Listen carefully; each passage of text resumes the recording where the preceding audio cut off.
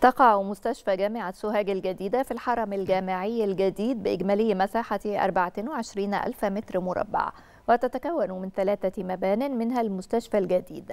وفي هذا الإطار بلغت تكلفة المستشفى الجديد نحو مليار جنيه